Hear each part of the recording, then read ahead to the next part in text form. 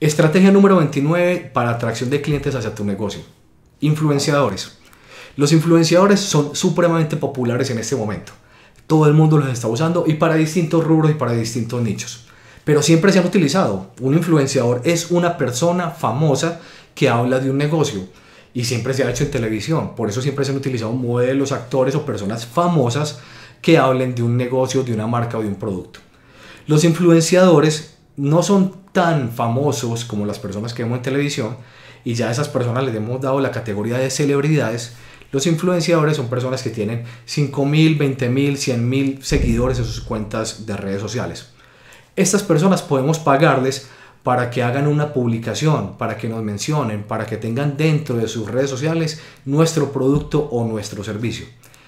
¿Qué vamos a, buscar con ellos o qué es lo que se busca? Se busca generar visibilidad de un producto. Lastimosamente, los clientes o los seguidores de los influenciadores también saben que a ellos les pagan para que hablen de estas marcas.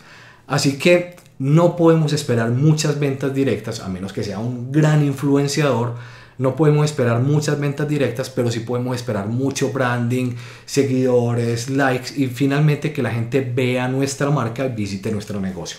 Es una muy buena estrategia de atracción de tráfico, de atracción de visibilidad, de, de generación de branding.